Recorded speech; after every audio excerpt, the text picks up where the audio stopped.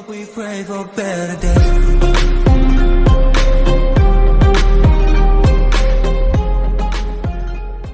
One mistake I always used to make at the start, and it's very much a classic newbie trader's mistake, is to think that you can go out there into the world and know everything, know everything about what determines the price of the particular asset that you're investing in. You cannot do this. Your brain is not big enough. Nobody's brain is big enough. Even the smartest guy in the whole world, smartest guy or girl in the whole world, it's surely not possible to squeeze all that information in your head. There's too many things that determine the price of any one thing.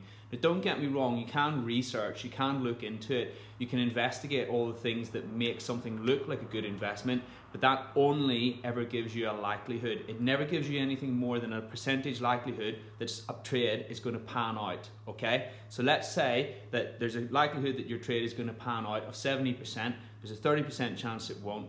Everything that fundamentally determines whether or not the investment looks good, looks amazing on paper, it's still a chance. There's a 70% chance it will work out, a 30% chance it won't, okay? No matter what. In let's say just use that as an example. Most trades are maybe different than that, but let's say 70-30 for the time being.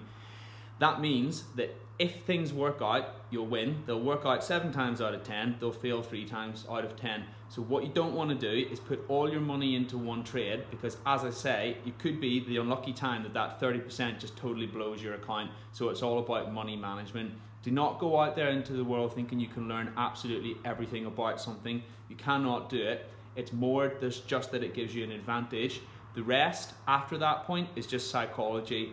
You have a plan, you execute it perfectly, you execute it rigidly every single time, and then that means that over time you'll generate a profit.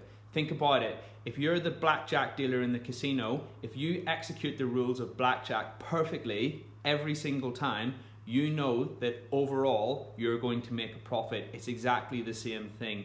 It's literally exactly the same thing.